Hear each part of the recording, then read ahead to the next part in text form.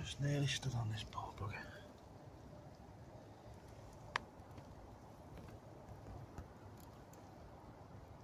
Poor thing.